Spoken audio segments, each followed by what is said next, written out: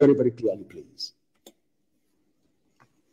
Awolowo was also a terrorist. Uh, for the sake of Yoruba journalists in, uh, working for Channels Television, all those Yoruba people writing for the Punch newspaper, I also want to let you know tonight that Awolowo was once a terrorist because he was fighting for you. I hope you understand what I'm saying this evening. The world knows we are not terrorists. We have not gone to markets to bomb people. We have not gone to mosques to bomb people. We have not been to churches to kill people. We have not killed anybody, as a matter of fact. What ESN is doing is driving away Fulani terrorists in our forests. How can that make us a terrorist? By pursuing terrorists. How is that possible? How is that possible? Now pay attention to what I have to say. Do you remember those police they sent to Somalia? And I want people in Lagos to confirm this. I want my Yoruba brothers and sisters to confirm this, please, tonight and tomorrow morning. Do you know those police people they sent to Somalia? Ask yourself, why would any sensible country in the world send their police to Somalia? Is that possible?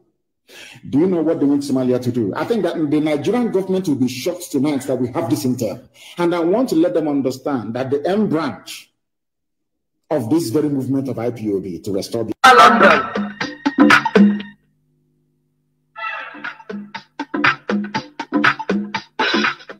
You are listening to Talk Talk Talk Talk on Radio Biafra London. Good morning, good afternoon, good evening, and good night, uh, great Biafrans all over the world. My name is Mazi Jonathan Chinedu from Alo province of Biafra land. This is Radio Biafra House of Service coming to you through the auspices of Radio Biafra London. Today is the third day of September in the year of our Lord 2022. Everybody is expecting, and all of us know what program we have today. Tough Talk with our First Lady, Wada Uchechi Okwu Kanu. Therefore, you are listening to Radio Biafra House of Service coming to you through Radio Biafra London. Once again, today is the third day, three, the third day of September 2022. Today is Saturday. Therefore, without wasting time or taking any time, I will bring in our special guest today, Wada Uchechi Okwu Kanu. Please, madam, welcome to the program. Your brief introduction for formality's sake, please. Go on, please, madam. Thank you, Master Jonathan. Um, thank you very much. Um, I say good evening, good morning, good afternoon, and good night to every one of us, depending on where you are. My name is uh, Wada Uchechi Okwu Kanu, the wife of Mazi Nnamdi Kanu. Ọhamadike one of Biafra land. Ndewo. Ndewo nwada nwanyị ọma. You are welcome to the program. You know, here we say it as it is, as you know, because um, we don't we don't try to be politically correct. It doesn't matter. Now, let us go to the business of the day because um, you need to talk to Biafrans and uh, take some questions from me. Um, uh, the first question I want to ask you is this How are you faring with your children? Um, in this case, do you sometimes feel dejected or frustrated owing to the fact that our leader, who is your husband, passed through this same ordeal for 18 months in 2015 and is now passing through the same situation? How are you feeling? Please. Uh, thank you. Uh, we are coping. We we we've had to cope. I mean, we we have to, as there is absolutely nothing we can do but to, to survive. It, it is very difficult. It is absolutely um, difficult. Where I have um, stepped in as both mother and father, especially with a young child, a young boy child who is involved in activities that requires the participation of, of his father. You know, for instance, you have um, a child you need to take to football, swimming, even school drop-offs and, and pick-ups. Uh, but his dad is not available to do all that um, bonding activities, and he does not understand why. So sometimes, and um, uh, sometimes he's upset that I'm the one picking him up from school, you know, hoping that he will be. So um, it is very difficult to, to answer your question. And um, actually, he met his his father for the first time when he was three years old. So you can imagine the difficulty he has had to live with, with the fluctuations associated with his father's um, presence. Um, dejected, frustrated. Absolutely, yes. I, I do feel frustrated because I never envisaged that this part would be this difficult and unsettling. The first time my husband was taken in, kidnapped, in fact, in, in 2015, it was a great shock as I was heavily pregnant as, as at that time. Uh, that, before yeah. you enter, because uh, that's where I was going to ask you. Let me just put it before you go on, please. Uh, were you at Afari Beku in 2017 when the Nigerian military invaded your home in order to murder Mazi Nnamdi Kanu, our leader? And, uh, you know, as you're saying, it's understandable. You're a human being. We are all humans. What was your feeling concerning the whole evil episode as of that time? You can continue, please. Um, okay, the as at that time, 2017, that is the most difficult thing I have ever had to face for months. Why was it difficult? Because I did not know where my husband was. I was on the phone to, to him. I was meant to um, travel that week, but I think I had to get something for him. So my my traveling, I, I had to reschedule and then book it for the next week. so we were on the phone and talking and and I started to hear this um, sporadic shootings. So uh, my heart skipped and I screamed, "What? What was that?" He said, "He's coming. He's he's coming. I should hold him." So I started to scream on the on the phone. I was screaming because he wasn't giving me any response. So I was screaming and asking, what is going on? What is going on? This very statement I'm making should, should be found on BBC interview or, or not, which, which is the reason I cannot interview with BBC, um, except if they accept the full responsibility to air a complete interview with them. They censor, we know, they censor things. That's it. So they censored quite a lot of um, my interviews, which I did with them on the 11th of February 2018.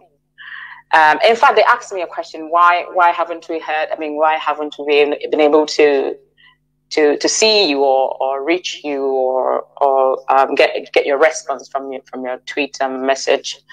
So I did explain to them that it was so traumatizing. I was haunted and tormented and traumatized for months because because of that event, I miscarried because of that very day. You had a miscarriage, really, because yes, of that event. Yes, because My of goodness. that very event. So because of that, I wasn't out there and uh, moving because I was quite ill, and the, the, the, the trauma was unbearable. This this was a man who was getting ready in preparation for his court appearance in, in no due time, as as we all know. But then was attacked by the same government a few days before.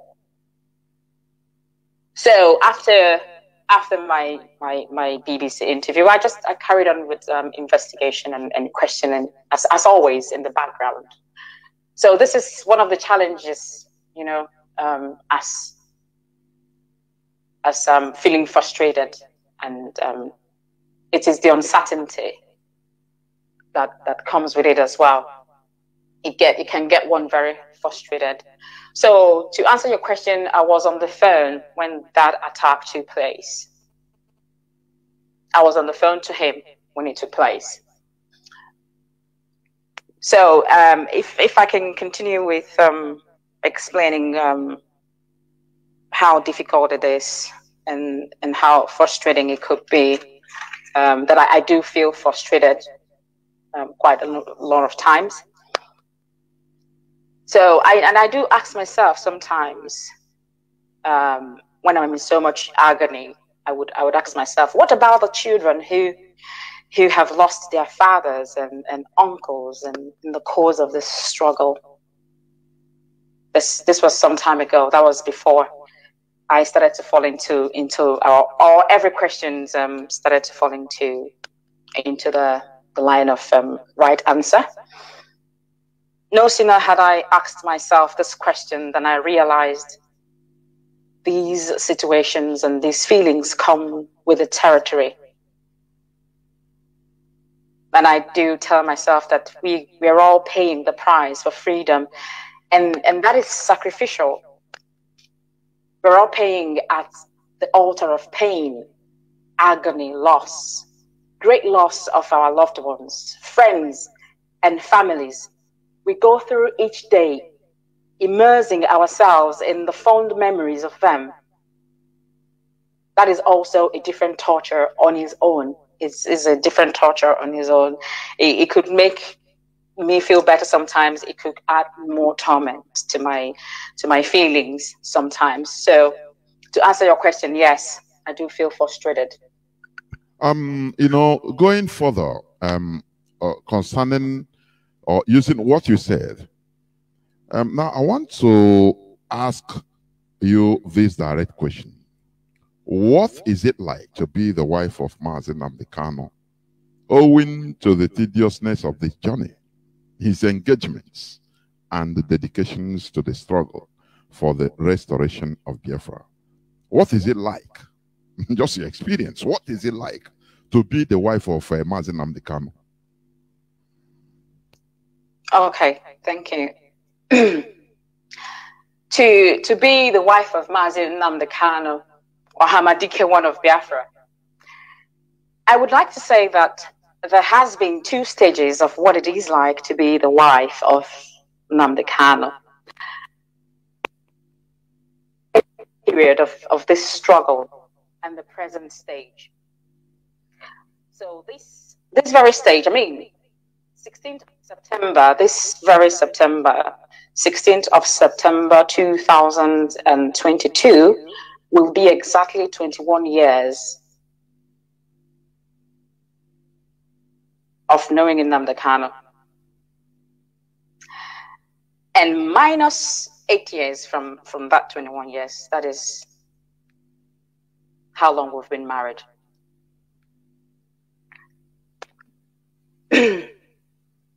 to be wife of Nnamdi Kanu on our very traditional marriage day, he was kidnapped. he was taking, he was taking from me. So just like what you see in the movies, you know, having problems during the day of um, of an event. He was kidnapped. And who? yes, he was. He was the, the start abducted. of baptism by fire. Hmm. Go on, please he was he was taking and who who was that? Who did that? That was Uwazuruike Ralph Uwazuruike so I, I wouldn't go I wouldn't um, delve into into into that today. Life life after that is, is just the usual life of, of couples which I will detail it at some point in the future, so not today. But for today, I will say that it is very hard and difficult.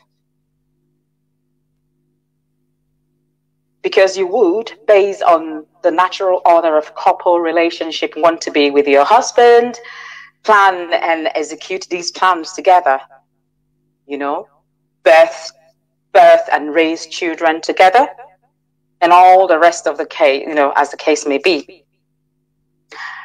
At first, I would be very upset when he does not pick my call. You know, you know, women, you, you just sometimes when you need attention and you, you want to have a conversation and that time is not there. So I would be upset and I would, you know, or when he does not pick my call or return my call. So over time, I learned to, to let it go. I proactively started to think, oh, maybe he's in a meeting because I've had to, to sit while he's in meetings. He will be meeting in meetings from this meeting to another meeting. Whilst he's there talking, I'll have to bring water, knowing that he's been sat there for hours. So having seen all that, I started to fall into line, you know, proactively. So when he does not pick my, if he's away and does not pick my call, I think, oh, okay, is one of those meetings and is is one of those um, interviews. So gradually, it became his action plan to call me as soon as it's free. We have gone ten days without him calling me, and I knew he was okay. We've gone ten days without him calling me, and I knew he, he's fine where he is. He will call when he's done. He could be airborne, you know. So it is tedious. It is absolutely tedious. You have to be strong. You have to be understanding to know that absolutely this is what it takes.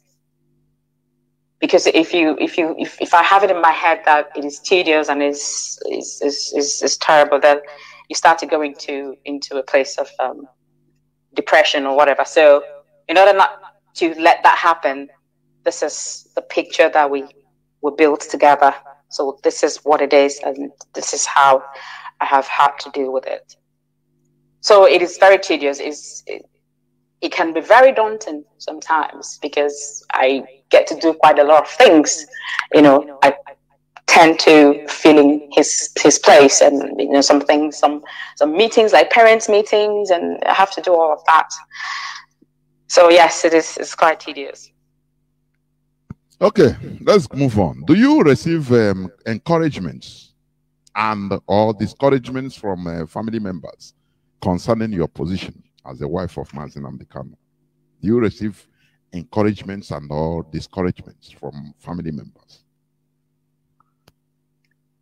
Um, yes, I do. I mean, in life, it's always a two-way path even when when one is in school, in your in your course of study, in your in your career, you, you do get encouragements and, and discouragements. It could be directly or indirectly, but it's a natural thing. It's not something that it is to be thought to to be a bad thing. So it's a natural thing and it, it happens in every course of, of one's life. So in everything we do, we may not get encouraged all the time, nor discouraged, but not in a bad way all the time. It is something that happens in in the course of life. Everything we do, it may be indirectly or directly sometimes, but just as every other person, one can be discouraged or encouraged by, by the actions of those around them. So, for example, I I I have. Uh, is my husband's cousin, you know, the wife. She said, "Oh, you're studying a professional course. Why? Why are you studying a professional course? You're going to look for jobs, and you do this, and you know." So, it, to me, I could have thought that that would discourage me. I could have thought, hmm, "Am I in the right path? Am I am I on the right track? Am I studying the right uh, course? Am I, you know?" But th- that is how some discouragement can come us. So it's, it's nothing uh, at all to be discouraged. I mean, discouragement is sometimes is, is a lesson. You you can get discouragement, but then you you look at that very path and say, why is this this way? Has something been done right or wrong? And then you you look around again to see. So, in for example, in in the workplace, it's it's called um, critical path analysis. So this sort of um, joins with being the wife of Nnamdi Kanu and you know how how it feels the, the journey. Because I have to be in line with not just the structure of who I am, of my, my particular kind of person, but also fill in the gaps found in the critical path. I will, I will try to be not very ambiguous, but as concise and precise as, as much as possible to avoid anyone being bound by the complexity of ambiguity. So if, for example, I, um, I say, I want to make, um, I think it's, it's a maize meal. We, we call it asoroswaka. So that is a, there's a, there are processes to do that. And I want to present it in a particular way. So I want someone to see it and say, this is good. So in my head, I will try as much as I can to make sure that I carry out all the steps appropriately. So this this this is connecting with discouragement, encouragement, and being the wife of Nnamdi Kanu. I'm bringing everything together. So this process is, is, is called a critical path analysis. I would get the, the, the plantain wrap, you know, the pl- plantain leaf to, to wrap this maize meal. And before I do that, I will think, hmm, for someone to see this and eat it and like it, have I got the right amount of salt? Have I got the right amount of pepper? Do you, do you understand what I'm trying to say? Yes, I do. So, so I would go back and run another test, which is stir the maize meal and taste for salt and taste for pepper to see. Now, do not forget that the taste buds, our taste buds, are palates, they taste things differently. So I could taste and, and think to myself, oh, I'm okay with the salt and I'm okay with the pepper. Uh, but someone else might not be okay with the pepper and the salt. So that is my critical path analysis. That is me trying to make sure that that very food turns out okay. So someone else who eats it and does not like it may say, oh, there is no salt or there is no pepper. Or someone with another kind of taste bud would say, there is too much salt and there is too much pepper. But one thing I've learned, I learned that from my father in law. God bless his dear, beloved, departed soul. My husband took after him in, in terms of being diplomatic, and my little one as well. He, he's the same way. So my father-in-law will eat that food, and he will not tell you that it is salty or it is not salty. If, it's, if it is salty, he will say, hmm, hmm eh, eh, there eh, could have been there's something that tastes like too much salt in this how did you put the salt? So that is how he would ask you this question. So to me if he asks me that i wouldn't feel discouraged to cook next time. I would want to cook and make it better do you understand so uh, to answer your question in terms of discouragement and encouragement it is a natural thing sometimes you see things that would discourage you. Sometimes you see things that will encourage you. So it's both, it's, it's life is all balanced. Okay. Um, let me ask you this question, please. you know, some time ago, you briefly appeared in a so-called Zoom prayer session by some infiltrators and renegades of IPOB. Can you tell us more about how and why you were present uh, in that Zoom meeting, please? Okay. A meeting, a prayer. It was a prayer meeting. Yes. Okay, so um, to to explain that, um, I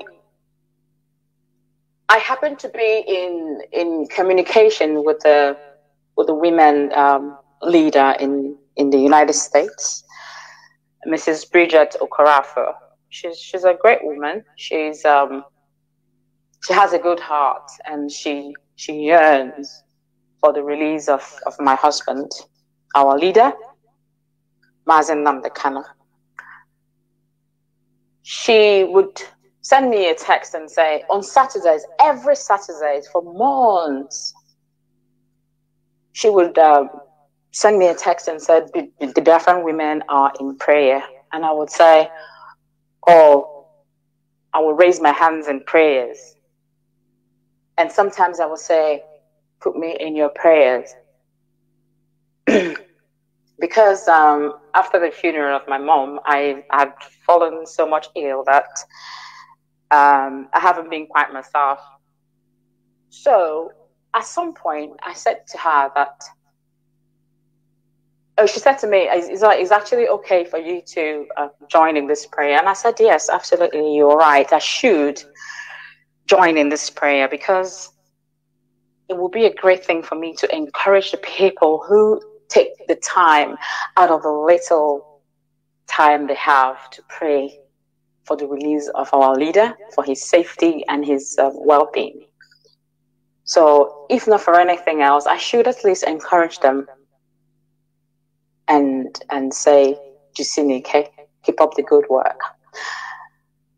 So back to your question again. These are the sort of things you would do. Someone could perceive as discourage, discouragement. So if I don't do that, a few might be discouraged to say, "Where is the wife? She doesn't join us."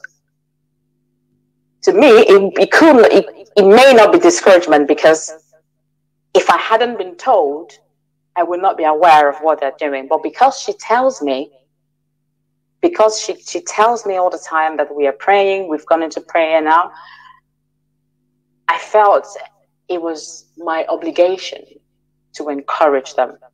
And how would I encourage them? Directly by praying with them. Because I believe that there is power in prayer with people joining hands together in agreement. It is powerful.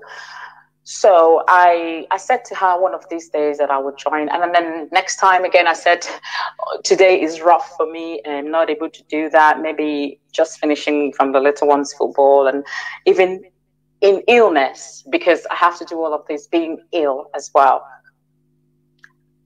So I said to her, um, I can't remember the month right now, but I know it was on the fifth. So I said to her, the fifth of that month that I I will join. And she was she was elated. She was like, okay, that's great. That's she was happy about that. Which also I was very happy to to pray with my sisters and, and mothers. So on that day, in fact, the night before that day, I became more ill. The ailment I have, I, I take medication, and the, I probably was taking the wrong medication and it wasn't helping me, it was making it worse. So in the morning, I was just thinking to myself, what how would I do today? Because I was shivering. I when I walk, my feet will be hurting. And I in fact I was I was in bed. I was crying when my brother-in-law called me. That is Kingsley. Kingsley called me. And he said, Oh, oh Ogini, what is the problem? I said, this thing is not feeling, I'm not feeling any better with this thing. And he said, what are you taking? And we, we talked and because he was really worried. So he, um, he called one of um, our uncles, their, their, their uncles, and brought him on the phone. And we spoke and he asked me a few questions and, and um, we talked about a particular thing I needed to take. And I quickly ordered um, immediate delivery for that. In fact, to collect in the store. So I had to go collect, collect that. I took it and I felt better a little bit, but I was still feeling very dizzy. I can't walk without holding on to things. And then I thought to myself, can I actually attend this prayer? But because I have said I will be there, I had to be there. So I, I joined on. I was holding, um, I think it was via Zoom um, I had a blanket over my head because I was very, very ill. Because when I'm ill, is is all tears that falls off my eyes. So I, I got on. I was brought in, and we prayed, and I, I encouraged them with the word of God and affirmed the power in prayer, and we prayed. And that was the first time I actually put together the, the, the death of my mother and the, and the incarceration of my husband and my illness at the same time. I've always had to think one at a time. But in that moment, that was the first time I saw the three mighty high mountains in front of me. And I could barely actually even talk. I wanted to sing a lot of songs. I I was filled with so much emotions and and the, the, the pain as well that I was going through physically right there. Not just emotional pain. I was physically very, very ill. So I joined them in prayers and and I realized that um, being amongst them, I, by being amongst them, I felt, or in the midst of them, I felt, I felt better. Not the not of, of the physical pain, but the, the emotional burden kind of eased a little bit because I was amongst people. So, also being the wife of a Nnamdi Kanu, you have to, you know, be careful regarding your parts and, and where you are and, and things. So, but I felt great because we were in the presence of God. We were seeking his face. So I, I made a very few um, speech and I said I would be there. I would always join them once in a while. If it's once a month or once in two in two months, I would I would join and and then that I like the fact that they come together to pray. That shows commitment, and the fact that they understand that Nnamdi Kanu is suffering where he is and he needs the intervention of God. It's also is also great, and and for for us all to pour out our hearts, asking God that the fundam the Kanu to be where he is today, that alone is righteousness unto his path. Nnamdi for being where he is, is a righteous man. And because of that, God will hear our prayers. And after saying that, um, I went on mute. And in fact, I went on mute instead of going going away and had to tend to the little one. So at some point, I could still hear the voice and, and noise. I thought, oh my God, uh, this thing is still on. So I I, I logged off and I, and I went off. So that was what happened. Nothing happened. I mean, no problems or, or anything whatsoever. And then I think the next day, I got a text from my from my sister's um, husband, my little sister's husband, he said, um, "Madam, can I can I call you?" You he, he always asks me first if it's okay to speak to me because knowing that I was very very ill. So I said yes, okay, you can call me. And he he rang me and he said, um, "I've just been I've just been fighting and explaining to some people about something." I said, "What is what happened?" He said, "You were on a platform that that you shouldn't be." I thought, "Oh my God, what platform is that?" and and he said the platform you were on yesterday to to pray. I thought I don't I don't think I went there to do anything wrong. And what is wrong with the platform? So that was my question, and um, I will keep the rest to myself. So that was what happened to to answer your question. Okay, we move on. Um, what do you uh, wholesomely? What do you say about the extraordinary rendition of our leader, Mazi Nnamdi Kanu, notwithstanding he is holding a British passport. He was renditioned to a country, a third country, that uh, Nigeria is not holding Nigeria passports. So it is really bizarre in the world stage. What do you say about it? This episode, this bizarre episode. What do you say about it? Um, it is indeed bizarre. it is it is mind-boggling as to how um, countries who are signatory to to the same UN Charter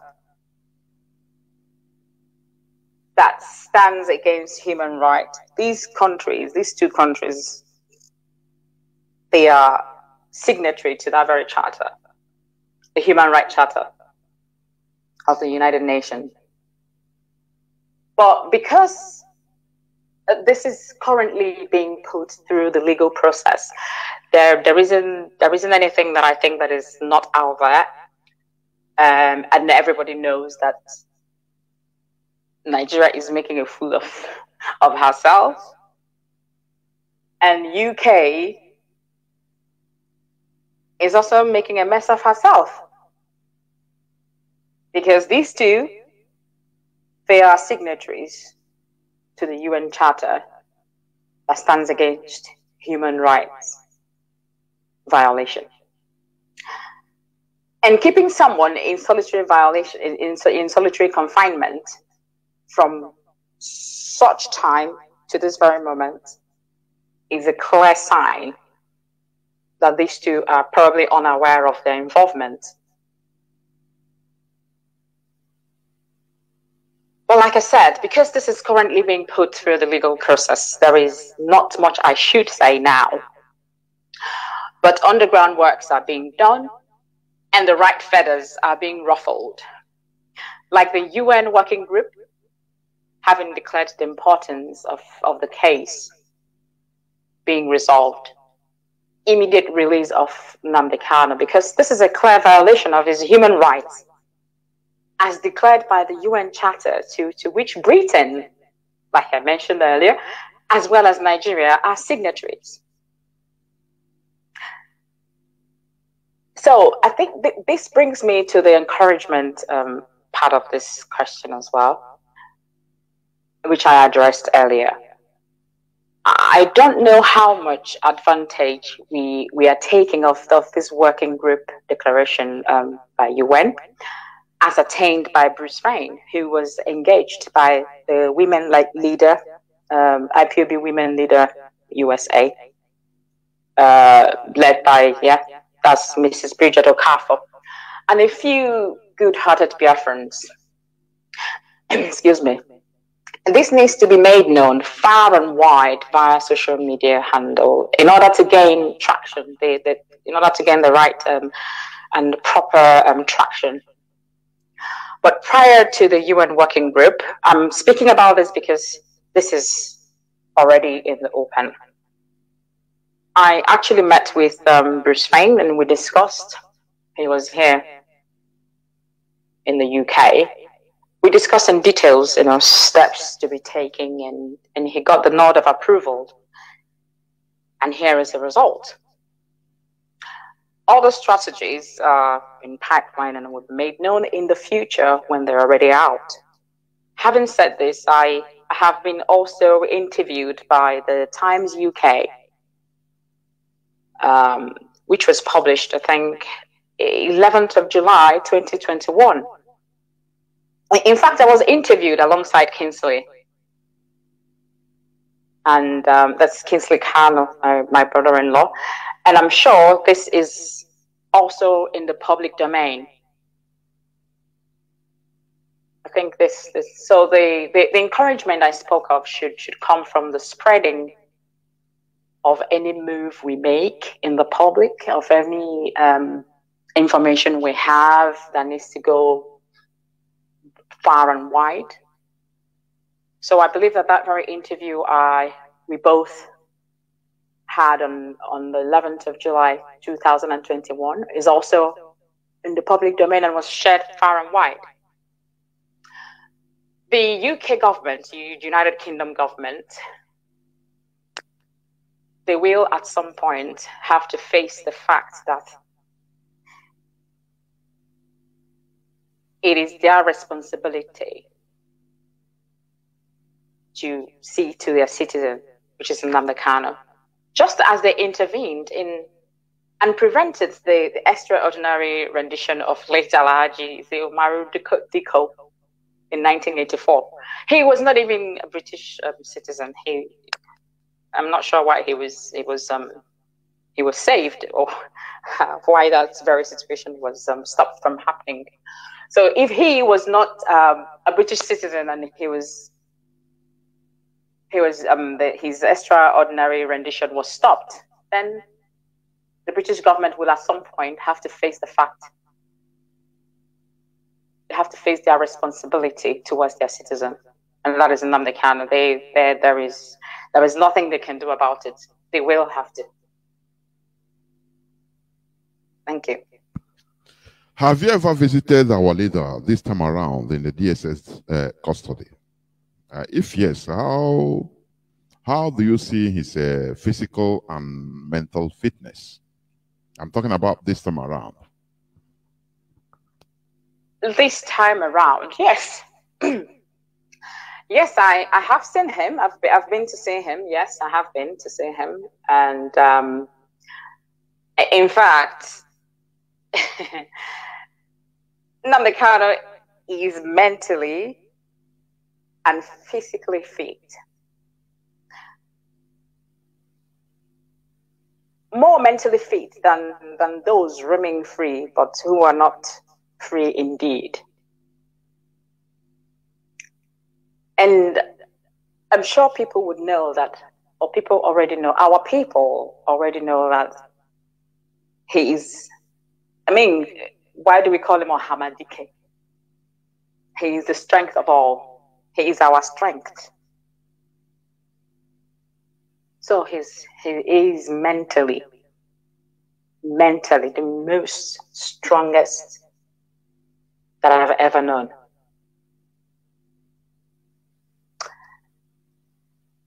We um, we discussed, we, we, we, we spoke for, quite a while. We talked about his health, which is not um, is not something that people are not aware of. Is not he's healthy, but he needs a physician who would deal with his heart issues. Everybody knows that he, has he has heart issues, and that is very, very, very imminent. It must, it must happen because you can't keep someone in solitary confinement and not provide that person with the medical um, care that he requires. They're just continually making a fool of, of, of their um, country and who they are. So we discussed the children, but most importantly, we discussed the struggle and other things which I could not think about. I couldn't even remember. But he remembered them all. He he was asking me these and that, and I was like, wow. I was trying to remember some that I've even forgotten about. So we did. We had our discussions, and he he is as sound and clear as the crystal ball. That's who he is. So when he kept asking me these questions, I thought, oh my God. I started to praise and, and hail him. And I said, Oh Hamadike, oh Hamadike, the man that speaks for the helpless, the man that saw the light and said, No, I want my people to experience this light. I praised and hailed him and then threw, I threw accolades and he was smiling. And when I said, Odowu, Kamanozuzu, and he, he stood, there he is, his usual, in his usual glory, he stood tall, like the demigod that he is amongst men. He stood. And he was laughing. He said, he said, Ibiakwala. I continue to praise and hail him. I continue to sing praises of him. And he said, Okay, you know you are my kiss of death. Uh, I don't know. Um, I'm sure some, some people play chess. I'm not a very good player myself, um, but my husband is is is a good. Um, he's very good at chess, and the little one plays chess as well. So, so when I came back, I because I didn't have internet whilst I was there, I had to ask the little one, "Whoa, can you tell me what is the kiss of death? I mean, what does that mean?" And he showed me the moves of um, what it means to be kiss of death. I'm sure some. I, I don't know if you play chess. Yes, I do. I do. I play chess very well. Oh, great. So um, that was what he said to me. He said, "You know, you're my kiss of death," and I laughed. okay, so he's very sound mentally. He has all his. I mean, I'm sure that is what people know him to be—the most intelligent of them all the most mentally articulative man. So I don't think there's anything I'm saying here that is new. So he is very sound and clear as a crystal ball in terms of mental and physical strength. Okay, let me ask you this uh, uh, last question before we take uh, some few seconds or minutes break. Have you ever been contacted directly or indirectly by any Nigerian agent? Contacted? Yes. No, no, no. Absolutely not. no. Okay, thank you very much. Um, you are listening to Tough Talk on Radio Biafra House of Service, coming to you through Radio Biafra London. You are hearing the voice of our First Lady, Wada Uchechi Okwu Kanu. Today is the third day of September 2022. We shall go into few minutes break so that when we come back, we shall continue in the second part. Please don't go away. A propaganda machine and racist media set up by the Great Britain to oppress the oppressed people of Biafra. BBC, your media war propaganda of 1967 that led to the genocide of over 3.5 million Biafrans, men, women, and children, did not stop us. Do you know why? Because we are the sons and daughters of the great lion from the tribe of Biafra. Our minds are made up your shenanigans, antics, and fake gutter media will not stop us either. We must and shall restore Biafra. Biafra worldwide phone call campaign alert continue. Now pay close attention. Be polite when you call BBC and use the following prompt when you call. Hello, my name is you tell them your name. I am calling to ask about BBC policy of propaganda against the victims of genocide. Since you are obsessed with telling lies about Biafrans, here are five more questions to consider. Now, this is the question to ask BBC. We are witnesses to BBC racist coverage of terrorism, implying that black Africans' lives don't matter. Yet the same BBC rallies the whole world at the slightest terrorist incident in the United Kingdom. Here is the second question. But when it comes to Nigeria, BBC not only hides terrorist killings, but they slander the victims and survivors of terrorism and genocide. The third one, when will the grand patrons of lies and hypocrisy, the BBC Fake News Network, make a documentary about the daily slaughtering of Nigerians by Fulani terrorists and the government of Nigeria, whom you protect so that London may plunder Biafran's resources? The fourth question is the oil and gas of Biafra. The reason that BBC is obsessed and terrified by the agitation for freedom.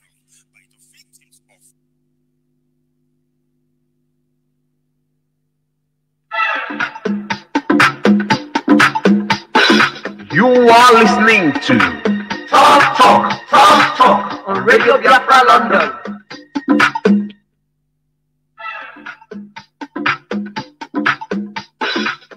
You are listening to Talk Talk, Talk Talk on Radio Biafra London. Welcome back. This is Radio Biafra House of Service coming to you through Radio Biafra London. We are on Tough Talk with our First Lady, Wada Uchechi Okwu Kanu. That is who you are hearing her voice all over the world. Today is the 12th day of September 2022. Therefore, we must continue to the second part of the questions, please.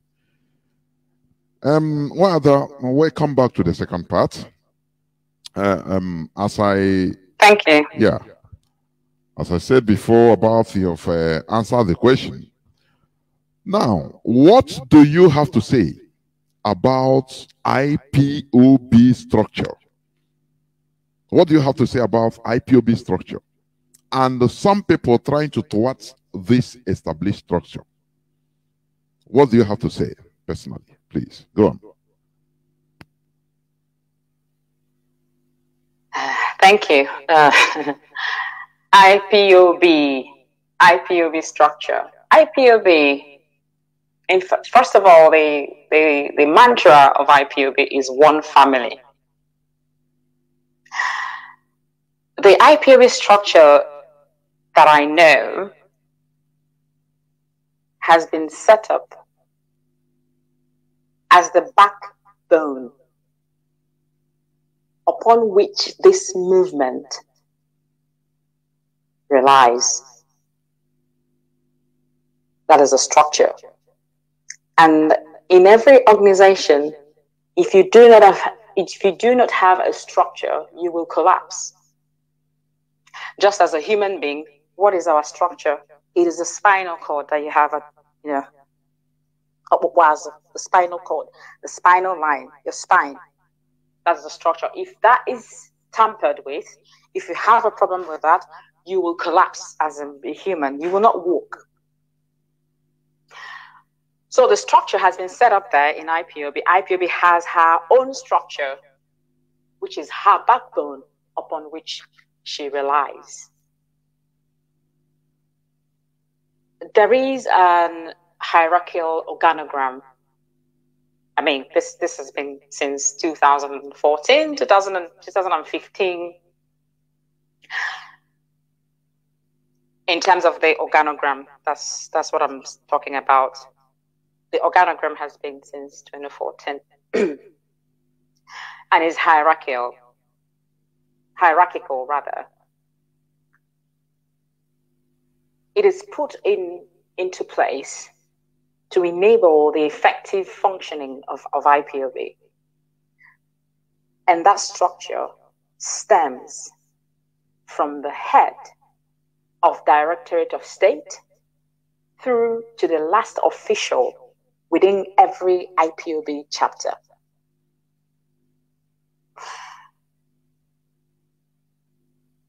the the Directorate of State spearheads Uh, some time ago during 2015. I'm sure those who were in IPOB then would hear a lot of, oh, IPOB is being spearheaded by the DOS. IPOB is spearheaded by the DOS. DOS is Nnamdi Kanu, and Nnamdi Kanu is the DOS. I, I, I don't know if, if, if, if nobody sings that mantra anymore. But that is the structure that I know that Nnamdi Kanu has set in place. The Directorate of, of State spearheads the movement, and I'm sure we are all aware that Nnamdi Kanu is also a member of the US. Hence, any operation outside of this very structure, honestly, should be disregarded and let it be worthy of note that Radio Biafra, which is why I am here today, I mean, I could go on BBC and, and the rest of them, but Nnamdi Kanu understands the power of media. He knows that if you have media, you have the power.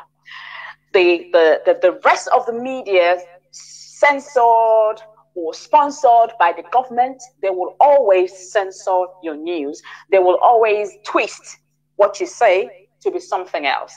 And then Nnamdi Kanu will say to you, Radio Biafra is where you come and you get the unadulterated news or information. So let's not forget that. That Radio Biafra is the mouthpiece of the movement. There could be other movements, other places in the world. There are several movements, everybody trying to make sure that we get Biafra. But IPOB, under the leadership of Nnamdi Kanu, Radio Biafra is the mouthpiece of the movement. And as Mazi Nnamdi Kanu will always say, Radio Biafra is where we worship. It is where we worship. For those trying, trying to thwart, to thwart the established structure, the very purpose, the very spinal cord upon which IPOB lies on. They need to be aware that they are functioning outside of IPOB, being led by Nnamdi Kanu. And when you function outside of a defined structure, you are deliberately you are deliberately sabotaging the objective of, of, of that very movement. Let me give you a, a biological example. Some some people may think I, I actually didn't go to school. During the cell formation, I'm giving a biological example as to how you function within a structure. During a cell formation, which is referred to as mitosis, some say mitosis, some say mitosis, the cells would split into two sister cells to create a bigger function. And what is that bigger function? That bigger function is known as the tissues. Now, these tissues would come together to create organs, and the organs create a functional system. Now, if you relate this to the system of IPOB, you will understand the hierarchical structure that I'm talking about. Therefore, when you function outside of a functional system, you are an exo exoparasite. Uh, I mean, a lot of us, we did biology in, in secondary school.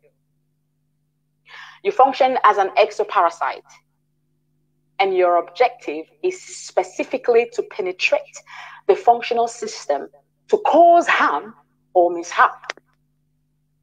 That becomes your job. That becomes your prerogative. That becomes your objective. That becomes your vision as an exoparasite to cause mishap because you're functioning outside of of the mapped structure or system or functional system. However, if an exoparasite decides to establish a symbiotic relationship, I want our people, for everyone who is under the sound of my voice, to understand this very example that I'm giving if you if you fail to understand it, ask your brother, ask your sister, ask ask your um, lawyer, or ask your doctor, whom you think might understand better.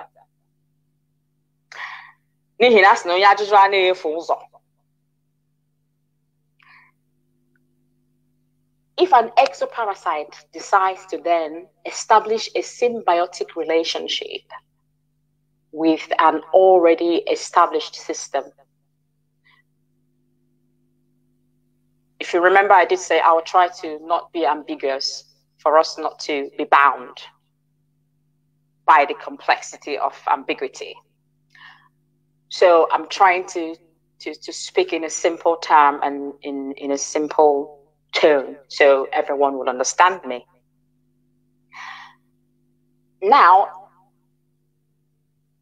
if an exoparasite decides to establish a symbiotic relationship with an already established system. then there must be a form of agreement, underline the word agreement, between the system and the exoparasite. Outside of any agreement, outside of these very agreement, the exoparasite must be regarded as an intruder whose intention is to cause harm and to cause chaos. To explain this further, think about the, the grazing cattle, you know, um, cattle. The grazing cattle and an egret. Egret is E G R E T. Whilst the cattle grazes, the egret feeds on the fleas. You know the fleas that you, find on the on the back, on the skin of the cattle. The egret feeds on the fleas on the on the cattle. So they both are benefiting from from their relationship. So whilst the cattle is grazing and the fleas are, you know, eating off the skin and disturbing the, the cattle, the egret is as light as it is, is feeding on the fleas. And the cattle has no problem whatsoever because the egret is, is, is helping it. But imagine a dog wanting to jump on the back of a grazing cattle. What, what will happen? Of course, the, the cattle will, there will be a fight. was, absolutely. So that is when you try to thwart to thwart a structure, a system, that is what happens because the, the egret comes based on on on, on agreement and, and feeds on the fleas and they both cohabit. So I think that is that is my answer to to for those trying to um, thwart the structure set by Nnamdi Kanu and his DOS members. And that is where IPOB is spearheaded from. Thank you.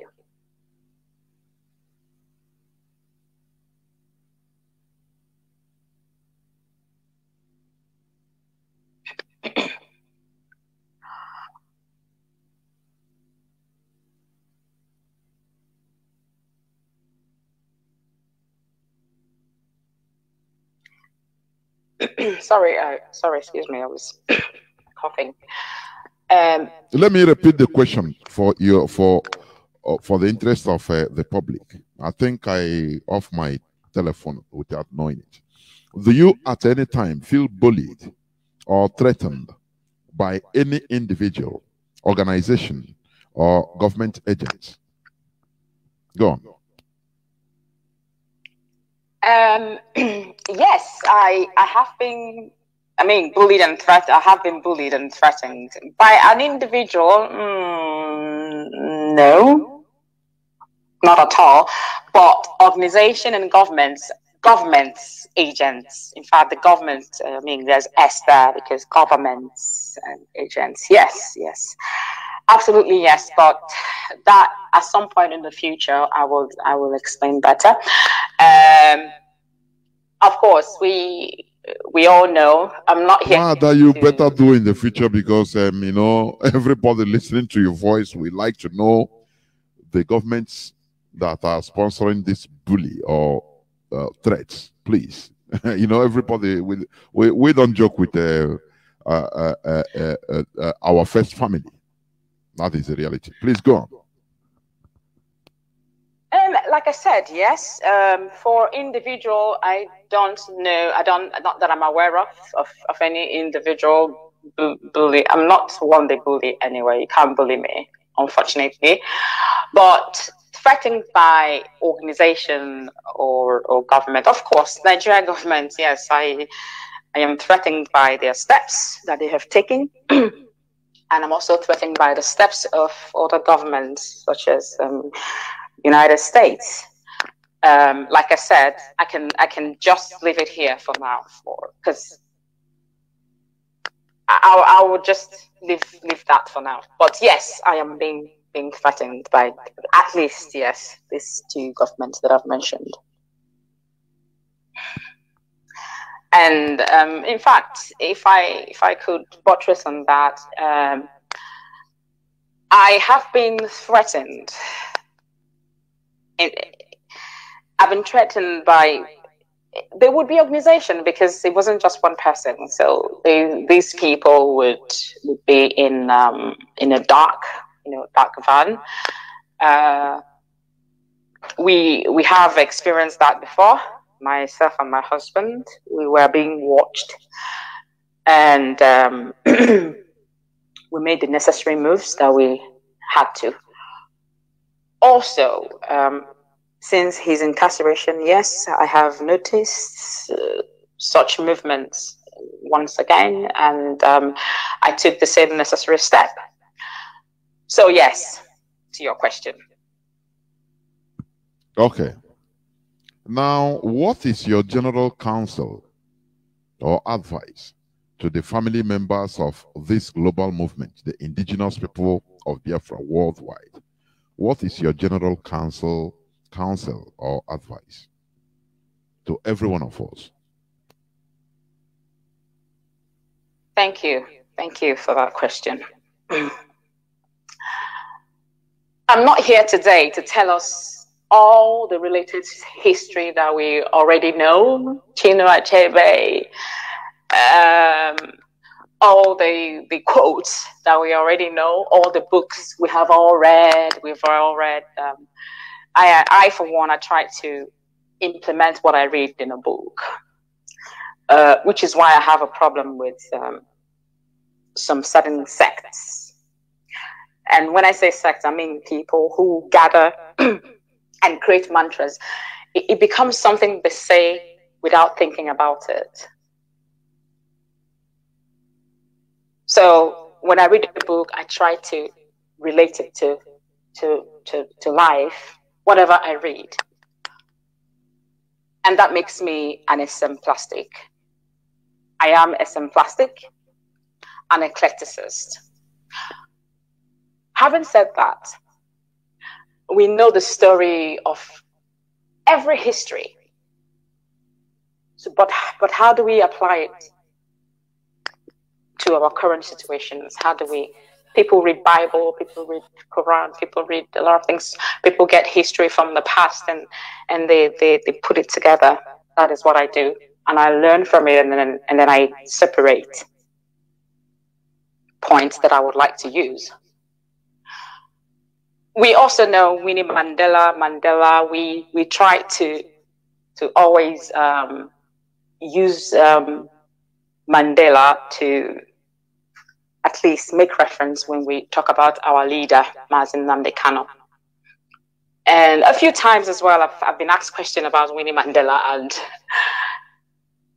and people just throw throw comments and and and few parts of it. Some people, I don't know if how aware they are regarding the real life of of Winnie, the things she did on the ground, whilst no one would see her, you know, screaming on social media and, and faffing about. She was doing a few things, even though she was stopped by government, which I've just answered your question here. Now, my general counsel would be that as a people, Now this council goes to people who fall under the leadership of Nnamdi those who believe in his cause, those who believe that he is the hope of the hopeless and that he's the light in our darkest path. And he is the voice that speaks for those who cannot speak or fight for themselves. This council is for those people And from what he said to me as well, we must remain focused and avoid any distractions whatsoever. As you have observed, there has been a lot of noise over the past year, which has been aimed at distorting the vision of the struggle.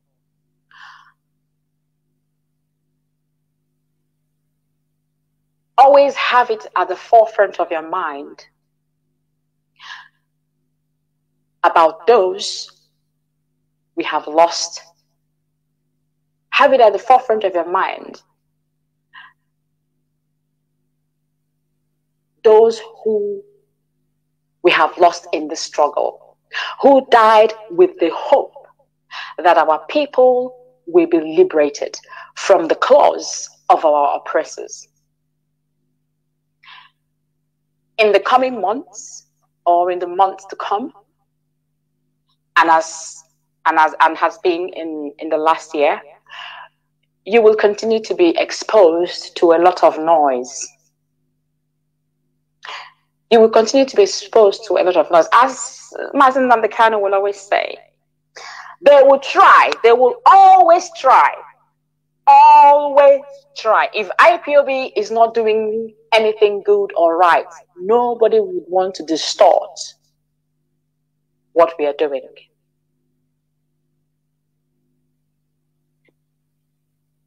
all the things he has predicted, everything, the way he says it, it happens. He made mention of in the coming months, some of you will sell out, some people will sell out, and, and you will see the evidence. They will start running mad just by their own hands without you chasing them. They will start running. That is the words of my husband, not me, said it. That is his his prophecy, one of his prophecies. But we should always remember that those who gave their lives gave it in the hope that our people will be liberated. So their blood must not go in vain, be spilt in vain.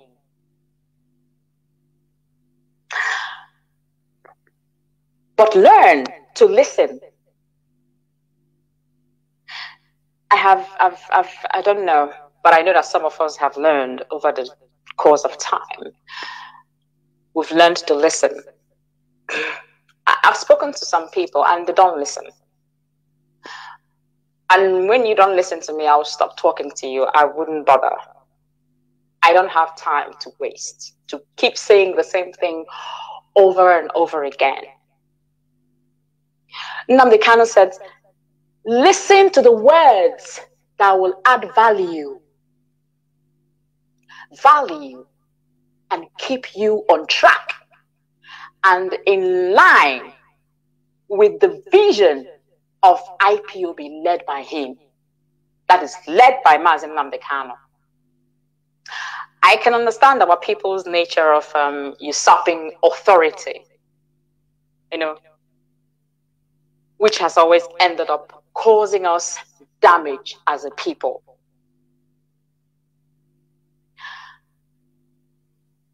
I was on on um, outreach for for for for the objective of of, um, of our people in the United States to, to come together.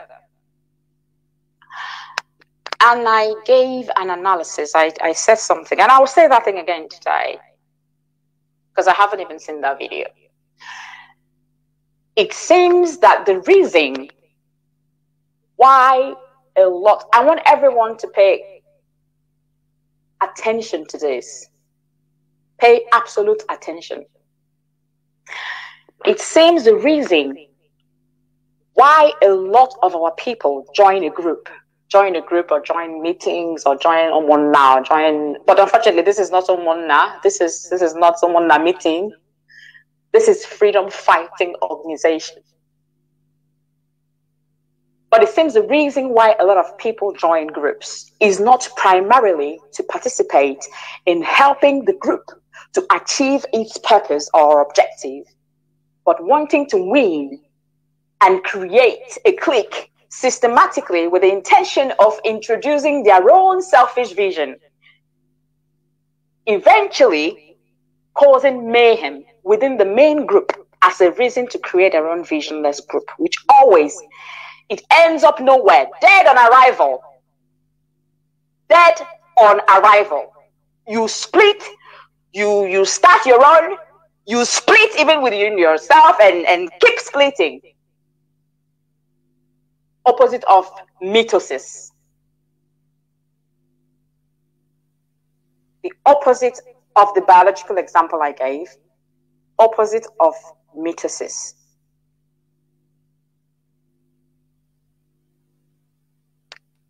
They end up maligning people from the main vision of the original group and making them visionless. Now these people become more confused, more disjointed, and more directionless because they hate the original group and have no clarity of purpose whatsoever. This has been the mantra, this has been the, the motto, this has been the steps and the structure of our people. Multiply this stupendous ignoramus by, let's say, 10,000, 50,000. That is equal to where we are today. Worse than we were ever worse than we ever were.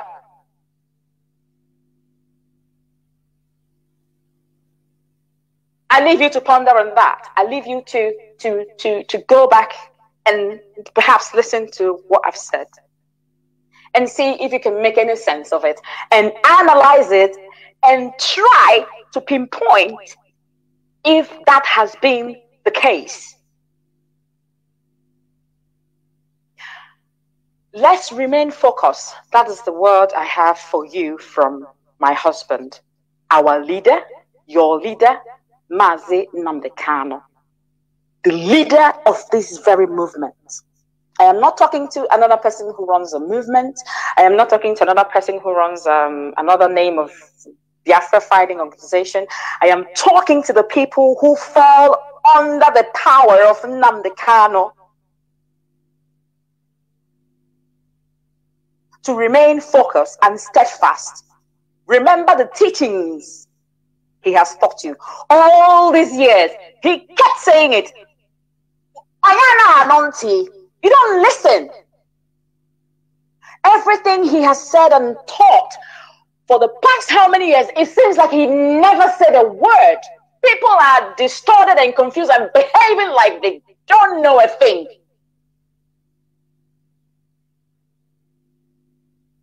He said, You need to be strong, be without fear.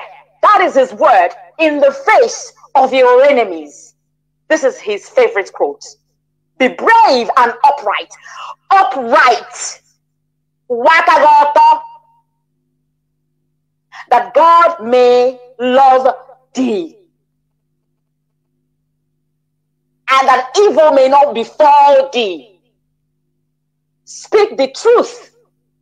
Eziokwu Always leave backbiting and and and underground digging to make sure that your brother falls into the pit. Leave it behind. Speak the truth always, even if it leads to your death, even if it makes you appear foolish, even if it makes you appear weak. Speak that truth. Remember to focus on our goals. We have a goal. The rest is just noise. Noise. Absolute noise. Ad feminam. You can you can write this down or you can you can you can replay it. These are Latin words. If you delve into psychology, this will make more meaning ad feminam, ad hominem, ad hominem fallacy, ad hominem abusive, ad hominem circumstantial. These are all noise. They are noise. They make you lose focus. Ignore this noise. And always bear in mind that there is something called power, which is the ability to alter to direct or influence another's behavior or course of event. That is what we have. That is what every IPOB member who is under the leadership of Nnamdi Kanu has. Which ad feminines, all the people causing or trying to thwart the structure which he has suffered for, which he has bled for, are trying to thwart. They have none. Remember, this is IPOB, and we always win. Always in the end, we win. Thank you.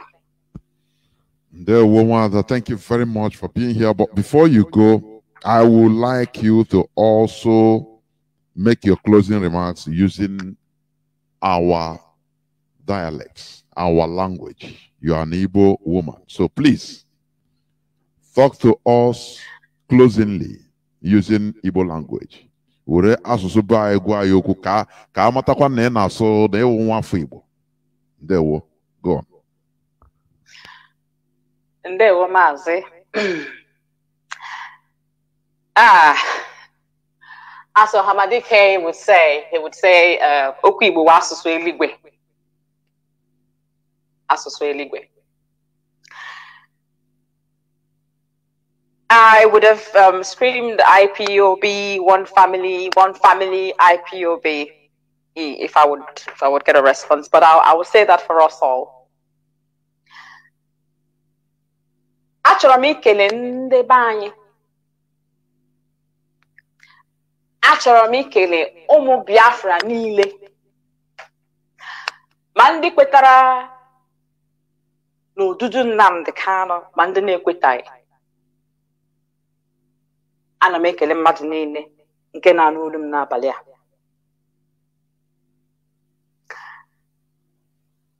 Ọtụtụ mgbe apụtabeghị m bịa kwuo okwu. Kama ihe gbasara unu na-eche m ọ na-eche m uche. Amakwana m na unu hụrụ m n'anya dịka m si hie unu n'anya. Eji m aka a na-ekele ndị niile na-agba mbọ ịhụ na onye isi anyị pụtara. Na-ekelekwa ndị na-ebe ha nọ ma ekpere ma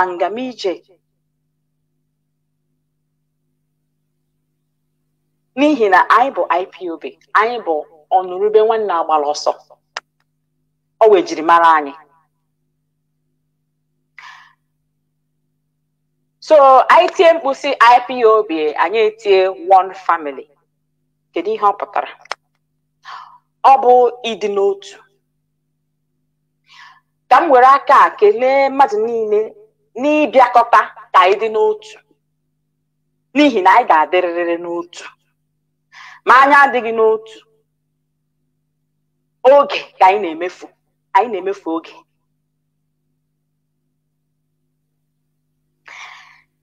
Ka anyị wepụ iwe. Ka anyị nwekwa ndidi nwekwa nkasi obi. N'ihi na ndị anyị anyị hụrụ n'anya nwụchara anwụ. Eze eluigwe anarala mkpụrụ obi ha n'udo. Kama anyị ọ bụ ndị dị ndụ ka anyị wepụ iwe wepụ ọnụma wepụ ekworo. Bụrụ onye nche nwanne anyị. Ọhamadike kwuru okwu. Nye iwu. Ka anyị lekọta onwe anyị. Onye ọbụla lekọta nwanne ya. Ghara ị na-egbu nwanne gị. Ghara ị na-egbu nwanne gị. Ka anyị ghara ị na-egbuchi onwe anyị. Ka anyị nọrọ na nche. Ka anyị nọrọ na nche chebe onwe anyị. Ka anyị nọrọ na nchebe nke onwe anyị n'ihi na ilekọta anyị ime ka anyị nọrọ n'otu ime ka ọ dịrị anyị na mma bụ ihe ya ma ji nọrọ ebe ọ nọ today ihe o ji nọrọ ebe ọ nọ taa na ahụhụ ọ na-ata bụ ka anyị nọrọ na nchebe. Nchebe m na-ekwu okwu ya wụ ka anyị ghara ịnọ na mmerụ ahụ.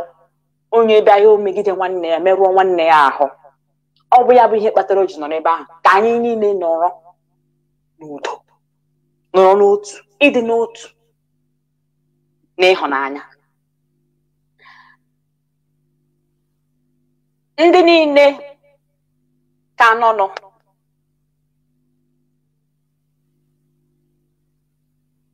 na-akwado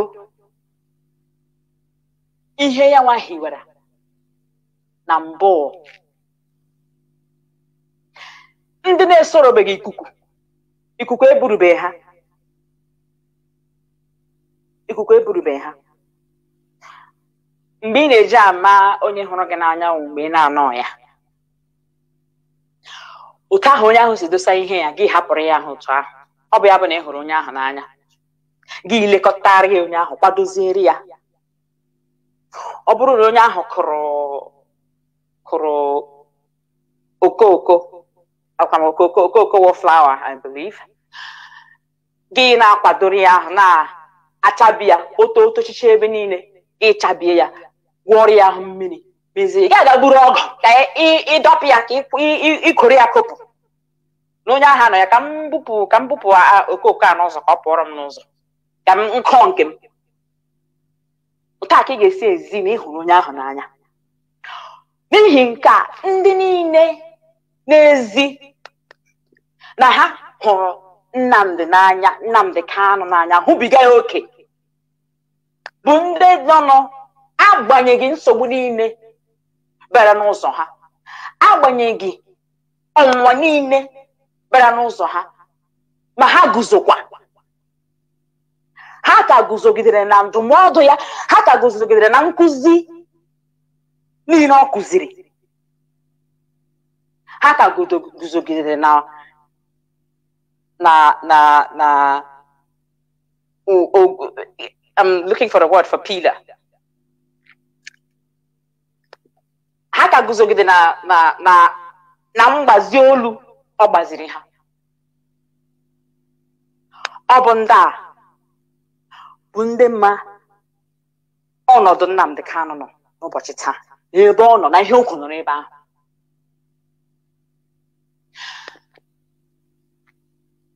Ebe ọwụ na aga m ekwu okwu a na n'okwu bekee ka m mkpọzie mmadụ ole na ole. Aha ka m were ohere a kelee ndị niile nọ na Directorate of State. Ndị na-akpọkwa m ka ha mara otu m mere. Na-agakwa ije nọ n'ime ya ime ka onye isi anyị pụta.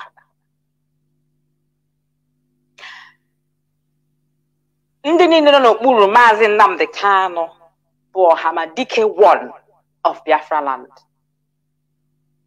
Gakwarị na ndị a na-akpọ media warriors.